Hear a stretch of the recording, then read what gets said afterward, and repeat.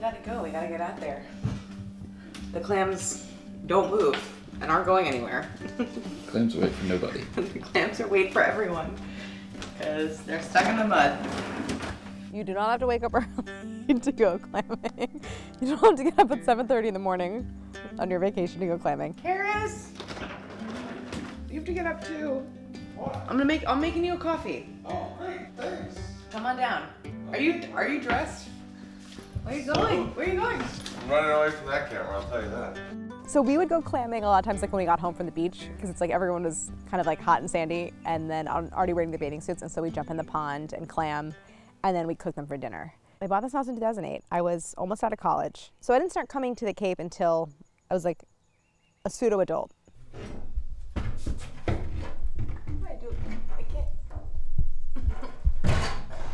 And we didn't start clamming right away because it's like I'm from St. Louis. It's like what is clamming? But we quickly caught on, mostly because we all wanted to eat clams.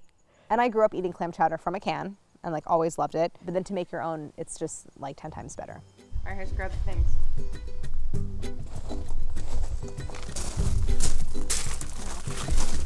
Mm. Really, it was my older sister Emily who like took it upon herself to be like the family clam expert. We just have this great spot of this saltwater pond that leads out to the ocean, so it's tidal. It's all like ocean water, and quahogs are easy because they don't move. Okay, it's pretty warm.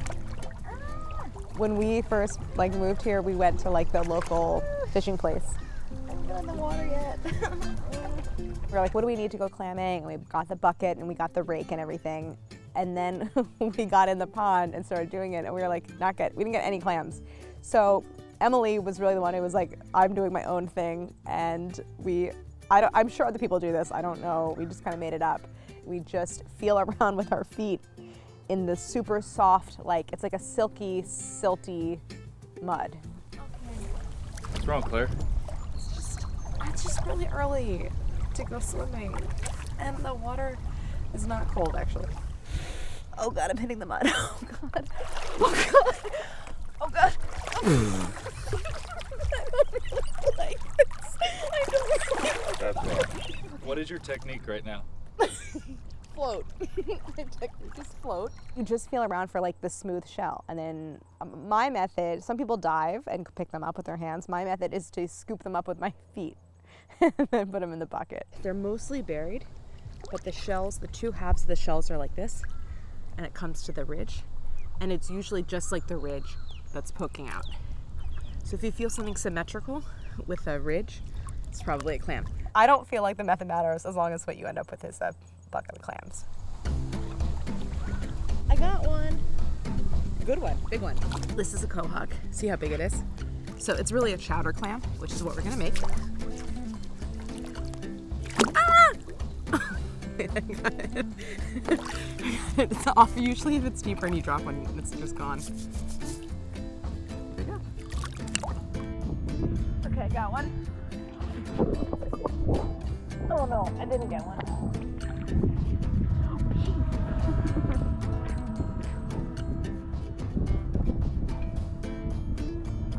Really sounds like a big insect. Oh, oh, I got one. On my own, I probably just got like 15 to 20 in not such a long time. This is a little piece where if the clamp fits through this window, it's too small and you throw it back. I mean, it's obvious if they're big, but like I got one kind of smallish one. Let's see if I can find it. Maybe this guy, but it doesn't fit through. So keep it. And now I'm gonna go back out and try to fill up the bucket. Uh-oh, this came off. How'd that happen? Harris, you sure you don't want to get in? Uh, yeah. Yeah, what happened was Harris sat on the chair and 10 minutes later walked back in the house. And I got all the I got all the clams until Vinny and Cal decided to get in.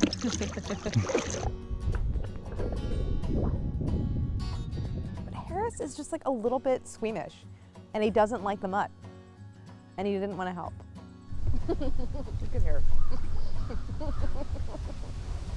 Harris is out. I don't know why he didn't bring his coffee. He could sit there and drink it. If you're interested in clamming, you have to like make sure that it's permitted. So we have a shellfishing license, but it's easy to do yourself. look at how beautiful. Usually we cook them outdoors because they take a lot of like volume because they're big and the shells are big. So we open them on the grill, which is what we're gonna do. Quahogs are not really like eating clams. They're like chowder clams, clams you want to chop up and cook and cook with. So and then we like strain the liquid, save the liquid. That's kind of like your clam broth, and then you can do like a million different things with them. Clam pizza, of course, linguine clams which you can check out the full episode on my Patreon. I remember my dad making this dish, and we grew up in St. Louis, so it's not like we were getting like, you know, like clams in the Mississippi, but I used canned clams. And I remember age five or whatever it was, thinking to myself, like, there's just no way that there's a better smell on earth than this smell. And I still. This is one of, look, Harris fell out of the car. One of Harris's lotto tickets. I don't think you won. They're not so dirty but I just like to give them a scrub.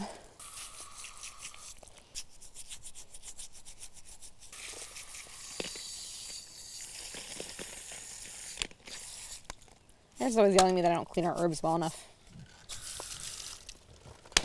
These are some very big quahogs. The grill is preheated. I'm gonna sort the clams. I have these, we use these a lot, these like reusable but disposable aluminum pans. So I'm gonna sort them, it doesn't really matter that much, into three sizes, just because they're gonna cook at different times. And again, I'm really just going for opening them, not really cooking them through, because they'll cook again. So I'm gonna do small, medium, large. This is a small-ish, I would say medium, mostly gonna mediums, I think. And it's okay if they're kind of on top of each other. Obviously that's small, because I'm gonna kind of move them around as they cook.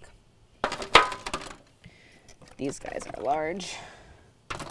The sizing is just so that like there's not a little clam that's being covered up by a bigger clam and then I can't tell if it opens. I'm gonna get them on the grill and then I am going to close the lid and let them steam and that's it.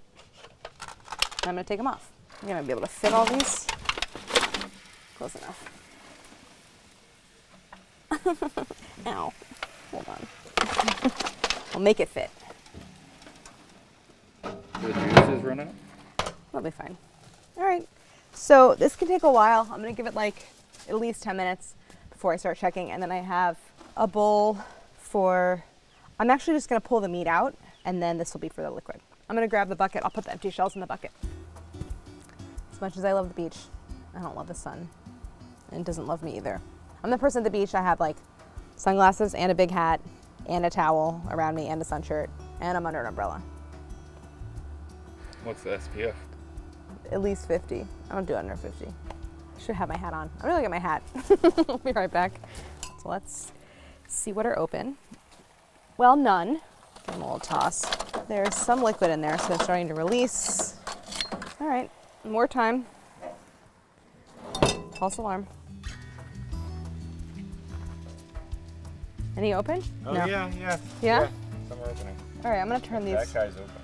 I'm gonna turn. This guy's open. They're gonna open. turn this that up. one's open. That's what we're- great. Those popped open, so now we're kind of now we're kind of things are moving. See how the joint is totally open. Pluck out. Look at the size of that clam too. I pluck out the meat. Where are my tongs? Oh, I'm using my tongs. I need, I need second tongs. All right. Well, this is gonna go over here for now, and then take out the meat. So these are kind of not even quite cooked. They're still kind of translucent. So still kind of raw, which is good. The shell is just gonna go back in here. You gonna open any more? No. Okay, I'm gonna put this back down. And so that meat is the brain, right? Count. I don't know what it is. it's a bunch of stuff. It's everything. It's a muscle. So it's like a tongue. And that's a clam. Sure. It's a whole bunch of stuff. Oh my god, we got a big one opening. How exciting. Oh my god, it's happening. Who mostly does the clam cooking? Me or my sister or my dad. My mom and my other sister Jane aren't much uh, clam eaters. They don't actually really partake in a lot of the clam eating. I think it is opening. Am I imagining that? it's like the ugliest flower. if they don't open, that means they're dead. So I'm just gonna call it, probably toss them. But in the meantime, I'm gonna get this liquid off of here. I'll strain this when I get inside, but I'm just gonna tip it into the measuring cup. There's some sand in there, which I will not pour in. I'm gonna turn the grill off, close it down. I got all the meat. I'm gonna go inside, chop them up, strain the liquid, and then make some clam chowder. The most of the work is done, really. That was the hard part. Cal, do you wanna carefully grab that liquid? It's just super hot. Okay, thank you.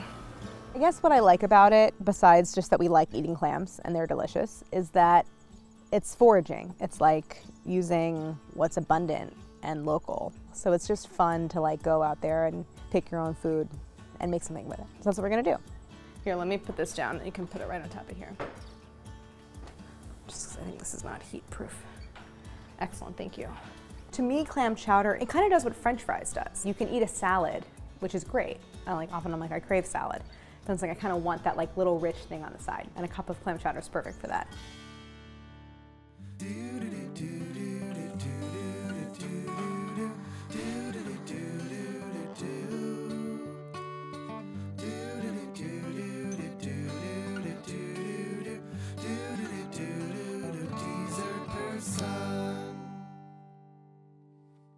I was thinking about this. I feel like clam chowder, not only is it delicious and I like to eat it, and not only is it kind of in the category of my favorite things to cook, which are like, you know, big kind of stew, soup things in one big pot that kind of bubbles away, but it's also kind of the one of the best uses for clams because it makes use both of the clams and of the clam liquid. And there's so much flavor in the clam liquid. So this is a dish that's really about the flavor, not even as much about like the pure volume of clams. Of course, it's there for like great texture, but this is all about clam flavor.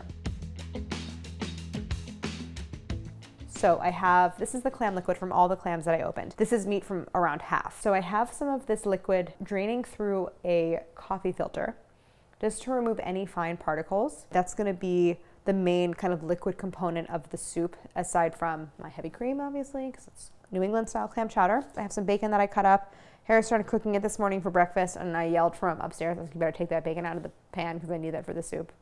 so it's like not quite raw.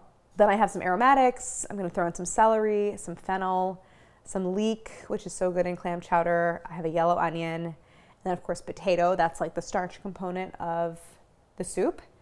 Then of course my clams, clam liquid, a little white wine because I like the acidity that it adds. It's not really a typical thing that you'd add, but I'm gonna add it. And then flour, which is my thickener. Oh, by the way, I forgot to say, I'm gonna make some oyster crackers because there has to be some kind of baking involved. It can't be that hard. The oyster cracker, I'm just gonna make like the most basic, like lean cracker. So flour, a little bit of sugar, a little bit of butter, and like milk, water maybe? I don't know. We'll see. I'm gonna use like a Fannie Farmer base recipe. It's sort of like classic New England cookbook. First steps, I'm going to get my bacon rendering and my butter in the pan. So I have like a, a Dutch oven here. My parents are very proud to point out that this is a piece of cookware from their original like set that they got for their wedding. So I'm gonna turn this heat on. So I'm gonna get my bacon going over low to start to render it out. And then while that's just kind of hanging out, I'm gonna chop up all of my aromatics. This was four big, thick cut strips of bacon, which is probably more like six ounces. And I kind of wanna use four. I could have told Harris just that he could have cooked one of the pieces. So that's starting to sizzle. I'm gonna keep an eye on it. I'm gonna keep it on low. And while that's starting to render, I'll chop everything else. So celery is definitely a must in clam chowder. However, celery I think has a very strong flavor and I don't want to overdo it. I think for some people, the tedious part of cooking is all the chopping. I kind of love the chopping. Celery is the best ingredient for practicing knife skills because it has, it lies flat. A leek kind of rolls around, but celery, it's easy. You can, if you're gonna make a lot of soup, buy a pack of celery. Okay, so the leeks need to be washed. Leeks have a lot of dirt in that place on the leek where the light green parts meet the dark green parts, where they start to separate. So I'm just gonna rinse these, see how they're dirty. Do you know what one of Harris's signature moves is? Uh, the split. no. One of his signature cooking moves is he leaves bacon on the stove and then leaves the house. It's not my favorite of his habits. So I'm splitting the leeks in half lengthwise and then in half again. They're just kind of easy to work through. And I don't need to chop any of this very finely because It's gonna all kind of sweat out and cook down. And now I'm gonna cut up this fennel. I might not use the whole thing, but we'll see. So fennel is a delicious vegetable that pairs very well with seafood. I might just use a half a bulb. I don't want it to be too strong. I think one, one of my favorite ways to eat fennel is to just thinly shave it into salad. It's very good raw. Here I'm gonna cook it. And then I'm gonna do some onion. So you can see we're using a lot of alliums. People are gonna freak out about this, but I'm very under control here with this knife. This is quite a large onion, so I might not use all of it. So I can smell the bacon. It is starting to render out. Just gonna give it a little stir. I do kind of radial cuts, like toward the center from every, you know, kind of like quarter inch interval. You just follow the lines. I kind of just follow the lines, exactly. And even though it makes the cuts slightly less even, as in the ones closer to the core are gonna be smaller, the variation's not that big, and I'm making soup, so who cares? I just feel like it's easier, and the onion stays together better when you cut it. And then once I get down toward the core, I'll cut it flat. So I'm probably gonna do the other half of the onion, but I wanna get these in the pot because I feel like the bacon is smelling pretty done. So now I'm gonna add, I four tablespoons of butter. I am going to add flour, which is gonna thicken the soup so I don't have a, you know, so I have that classic kind of like creamy clam chowder consistency. The flour is gonna bind with the fat and make a roux and then I can add my liquid. So the fat's really important. So I'm gonna supplement the bacon with some butter. The bacon looks, it's just kind of at the stage where I want it to be, which is starting to crisp around the edges and mostly rendered, but like not fully crisp. So now I'm gonna grab this whole cutting board and add all my aromatics. I'm probably gonna lose at least 50% in volume, so it looks like a lot, which it is. It's about to start smelling so good. So I just wanna get all of this coated in the butter and bacon fat.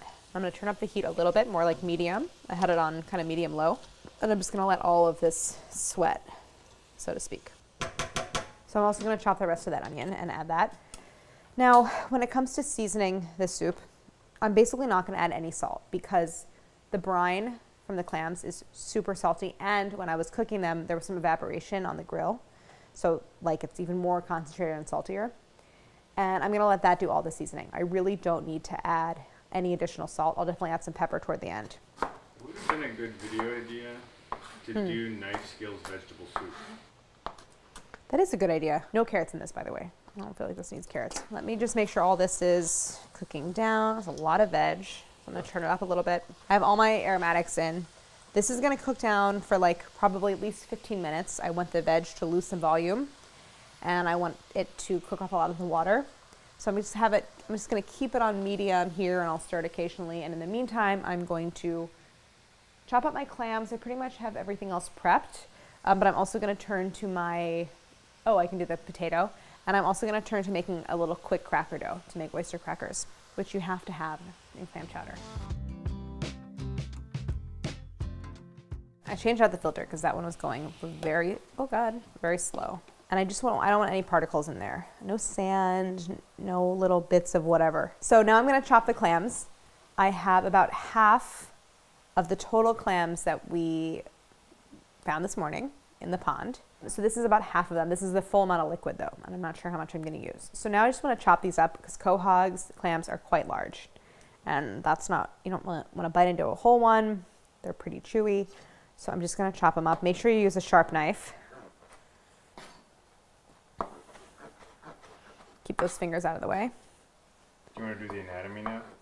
I couldn't tell you what any of the parts are. It's a clam. And I don't like to think too hard about it. I know that it tastes really good, and I'm fine with that. You can make this with canned clams, and they make like bottled clam juice. You'll probably get really good flavor either way.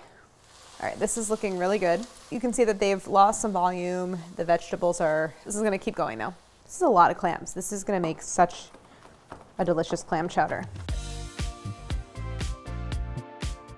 So now I'm gonna peel and dice my potato and get that cooking as well. Fill this up with water and get that boiling. I am using flour as the thickener for this soup. There's other thickeners that you could use. Potato is actually a great soup thickener, but I don't really, I like the kind of silkiness that you get from a flour thickened soup or stew. And I don't really want the potato starch in there. So I'm gonna cook the potato separately, and then you also have more control over the cooking and how done it is. And I feel like sometimes when you cook potato in soup in the liquid, even when it's fully cooked, it maintains a kind of a texture that I don't I don't like as much as when it's just cooked separately. I'm using one russet potato. You could use whatever kind of potato you like. Yukon Gold. You can use like little red potatoes. I don't know, whatever, whatever you want. Just give this a stir. So I want to cut these into like bite-sized pieces. How do I want to do it? And then as soon as I cut them, I'm going to put them into the water because I don't want them to oxidize and turn brown.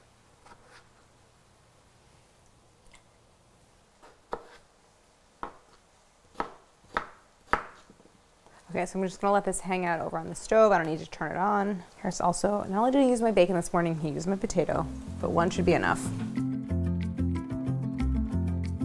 Okay, so now I think we're at the point where I'm gonna add my flour to this mixture. I am starting to get a little bit of sticking on the bottom, meaning the vegetables have lost a lot of their water content and I'm gonna, it's gonna go from like steaming in the pot to starting to brown. Now this is not a precise amount. I'm gonna start with like probably two tablespoons. So you can see this bubbling fat there. I want all of that to kind of get bound into the flour. So I'm gonna give it a stir. I can already tell you that I need more. So I'm gonna add a little bit more, probably at least another tablespoon or so. You can see it's starting to get a little film on the bottom, which is good. So I, wanna really cook that flour out. I might add a little bit more, maybe one more tablespoon. So all in, I probably added between a quarter and a third of a cup. And this is gonna be my thickener. So I'm kind of making a roux, which is a mixture of fat and flour, but it's I'm also making it with the presence of the bacon and all the aromatics. So I just wanna cook this out. What happens if you don't add enough flour proportionate to the amount of fat is you'll get like little droplets of fat in your soup. And it's not a bad thing. It's just you're not gonna have that like classic, really smooth texture that you associate with New England clam chowder. Okay, so I'm definitely stirring constantly at this point because that flour will start to brown. You don't want it to burn on the bottom of the pot. Now I have my wine. I didn't measure this. This is probably about a third of a cup. You don't have to add this, but I like it as a deglazing tool. And also it's gonna add a little bit of acidity, which I think is appropriate. It's a, lot of like rich flavors with the bacon and the cream. So it helps to cut through that a little bit. So I'm getting a little bit of a browned layer on the bottom, which is good. That's going to be flavor, and it means that I'm cooking out the flour. So you go in. And this is basically going to totally evaporate and cook out, but what it's going to do is start to dissolve that layer of kind of brown flour on the bottom. I definitely don't want like a raw alcohol taste, so I'm going to let this pretty much cook out. For the people at home that are anti-cooking with alcohol, is there something else you would recommend? Yeah, I mean, you can just totally omit this. You don't have to use this at all. You can just go straight into the next step, which is going to be to add my clam liquid. You could add just like the teeniest splash of like an apple cider vinegar or something like that if you know to get that acidity, but it's not necessary. So I'm going to grab my clam liquid, which is still straining. It's like doing another new filter. I might. It really did catch a lot of silt. Look all that sand and silt. So I want to keep going with this, but I'll start with this amount. We had some evaporation with when we were cooking the clams. So I really do think that there is a non-negligible risk of over salting this just by adding the clam liquid. So I'm gonna start with, that was probably two cups. And I might just have to add a little bit of water, which is totally fine. I feel like water is a really underrated cooking ingredient. And people think, oh, you have to add stock because stock is flavor and there's not enough flavor in water. But it just doesn't really always work that way. So what I'm doing now is just stirring this through and kind of scraping out the bottom to dissolve the flour that's on there. But this definitely needs more liquid. Let's, let's find some cheesecloth. Ah! Lot easier than I thought it was going to be. My mom, look, I, if anyone wondering where I learned how to keep an organized kitchen, it was definitely from my mom. So I turned that way down just while I do this part. So because the coffee filters were effective but very slow, I have a double layer of cheesecloth set in a fine mesh sieve. And let's try this. Much faster. Hopefully nearly as effective. Okay, so that's probably another two cups. I'm gonna actually taste what I have because I want to be really conscious of the salt. Anything with clams, I over salt because I just want I want so much clam flavor. I add so much liquid. Also, the bacon has salt, by the way. It's really salty. I'm gonna add a little water, maybe a little more clam liquid, but call that cup and a half of water. Call it three cups of clam liquid total. So now I'm just gonna let this kind of cook for a little bit. I'm gonna turn my potato on. I'm not gonna salt my potato. So I'm gonna get that cooking. This is nearly done. I'm gonna let this kind of come up to a simmer, reduce a little bit. We'll add the clams, add the potato, we'll add the cream. I keep forgetting about the crackers. I'm gonna put together the cracker dough. The great thing about crackers, there's no leavening, no yeast, no waiting. I'm just gonna make them. And also they're oyster crackers, so it's like, they're just here for the crunch. I'm not too technical here. So I'm not, I do not have an oyster cracker recipe, nor did I take the time to develop one. I'm going to use a recipe from Fannie Farmer, author of the Fannie Farmer Cookbook, which is like a very old, very classic New England cookbook. And it's like an all-purpose cookbook. There's a million recipes, and there's a recipe for just white crackers. I'm gonna start with a cup of flour, which in my book is about 135 grams, give or take. About a teaspoon of sugar. So I'm gonna grab sugar. This I'm gonna eyeball. Call that a teaspoon. Then about a teaspoon of salt, not very precise, so there's a teaspoon. Then I'm gonna grab butter, I just need a tablespoon, pardon me, I go into the fridge. So there's a little bit of fat in this recipe and the fat is going to kind of tenderize them. So I'm just gonna cut this up into some pieces. Throw that in. I'm gonna basically just work all of this fat into the flour mixture, but unlike pie dough or biscuits or anything flaky, I wanna basically just like work it completely into the flour. So I'm using like a rubbing motion. Really trying to break up the butter into small pieces. All right, so soup is kind of bubbling at a very gentle pace, which I like. Just keeping an eye on everything behind me. So the butter is totally worked in, no big pieces. I'm gonna grab a measuring cup. I could do this by sight, but I, just for the sake of having measurements that I can share, I'll grab a measuring cup. But basically I wanna add enough milk to kind of bind everything together and make a soft, but not super sticky dough. So I'm gonna measure out a third of a cup, but add just shy of that. So I'll leave some in the measuring cup. This is whole milk. Pour that in. Left about a teaspoon or two in there. And I really like mixing dough with a fork. Harris has a, we have a Danish dough whisk, which my mom gave to me that used to be hers. I truly never use it, but I just like it because it's like kind of cute looking. Harris hates it. It's his least favorite thing in our whole kitchen because it's like very big and gets in the way a lot, but I really like it. So I'm gonna go ahead and add the rest of the milk. Just a little bit of dry flour still. All right, that seemed to do it. Third of a cup seemed like the magic amount. Everything is come together, no dry floury spots. I'm gonna get this out onto my work surface.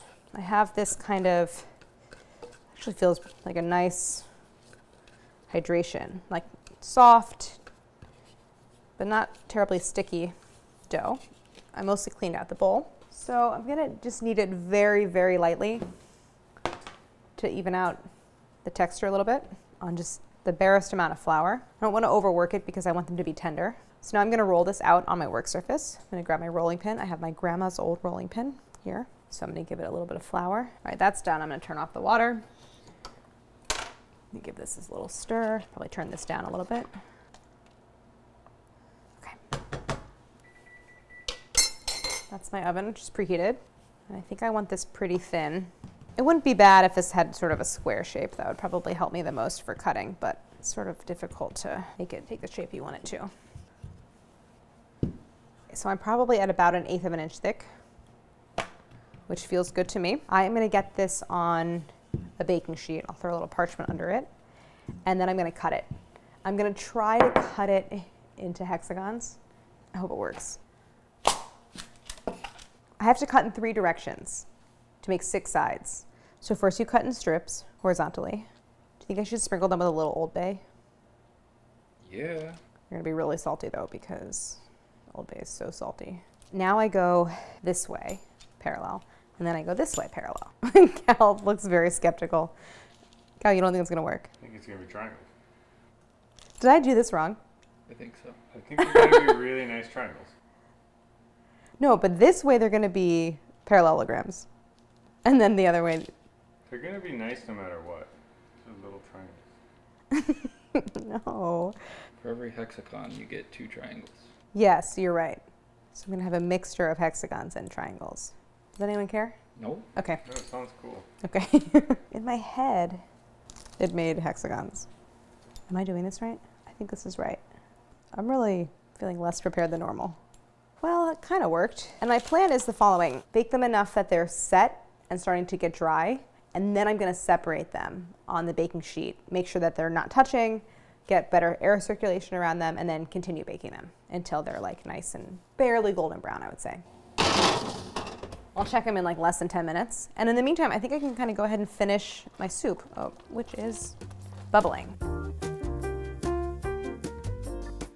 So I'm gonna add my clams for the amount of soup. This is a good, a generous but like appropriate amount of clams at the same time. Okay, and now I can also go ahead and drain my potatoes and go ahead and add those. In go potatoes.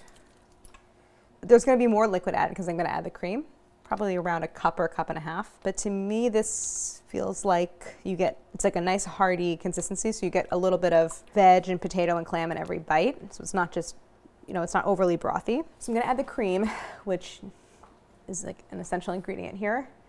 It's just not clam chowder without the cream. So I have heavy cream. Generally with a creamy soup, you don't want to boil it really hard after the cream is added because there's always a chance that it could break where basically your cream kind of separates. So I'm just not really going to like boil it more once I add this. To help sort of like reduce the chance of breaking, it's good to add it at room temp. And you can even temper it. Like you can spoon a little bit of hot soup into your cream and then add it. But I think it should be fine. I'm to start by adding about a cup. It doesn't actually take that much cream to make like a really rich creamy soup. So that cup of cream looks like it did it. I'm pretty happy with that. I just I want to give it a taste because I'm still a little bit concerned about salt. I think that the texture of this is great. Like that's the right amount of flour to the right amount of liquid. I wouldn't want it to be thicker, but I wouldn't want it to be thinner either.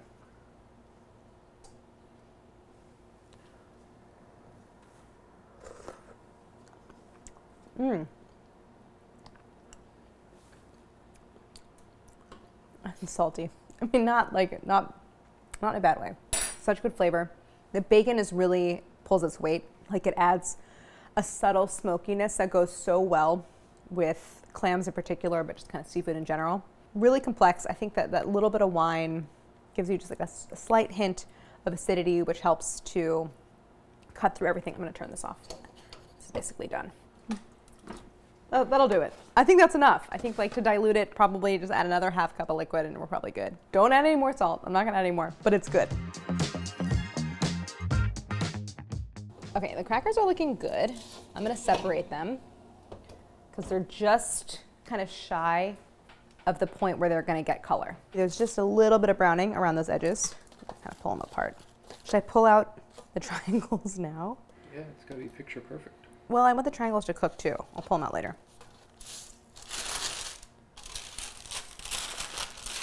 Before they're fully done, I just want them to be separated so that they all dry at the same rate. Otherwise, the edges would get so crisp and the center ones would stay kind of soft.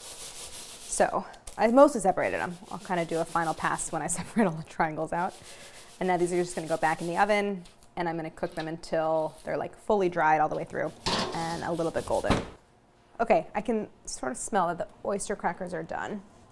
Oh, they got a little brown. Oh no. well, the hexagons look great. the triangles, maybe I got a little overdone. Mom, this oven is powerful. All right.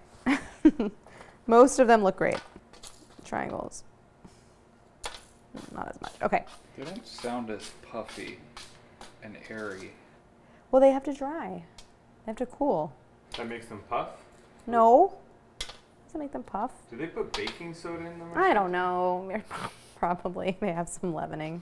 Some of they puffed a little. So what you're telling me is that these are a total failure. Okay, Cal likes them. It's like one of those flavors. Yeah. It's like that deeply satisfying, boring flavor. Yeah, it's like super bland. Yeah, It's just white flour as the flavor. it's good. Good job, Claire. You nailed it. It's supposed to be just like it's just pure texture to eat with the soup. Ow, these are so hot. I'm really just burning my hands. All right, so these need to cool. I'm gonna finish separating them, but then we're gonna make ourselves a bowl. We're gonna try it. I'll probably chop a little parsley, maybe grab a squeeze of lemon, but we're basically done. Little lemon on top, lemon and seafood, then a little bit of parsley, and some of my oyster crackers, which didn't puff that much. Whatever. Okay, I think this is a great consistency. It's super smooth and like silky. I don't have any like fat droplets on top, so I know I have the right proportion of fat and flour and liquid. And I got my oyster crackers. I'm gonna taste it. I definitely want to get some clam in there. Mmm. Mmm. I love the texture of the clam. I especially love it against the kind of like soft, creamy potato. Mm. I think there's too much bacon. I know we do less bacon next time. Sorry, Harris. We kind of yelled at him. But it's really yummy. So delish. So we have this like series of really fun episodes from Cape Cod. We're definitely going to continue to mix it up a little bit, get out of the kitchen, expand a little bit. Of course, we'll always bring you dessert recipes that you can share. But it's just fun to like be on the road a little bit and in a new kitchen, especially where my mom can help me with all the dishes that I have to do after the episode. So thank you so much for watching and don't forget to like and subscribe. Patreon? Patreon. And Patreon. Sign up for Patreon. Original recipes several times a month. Drink water. Linguine clams. Drink water. Why do I look dehydrated? No, it's just other life advice. Cut.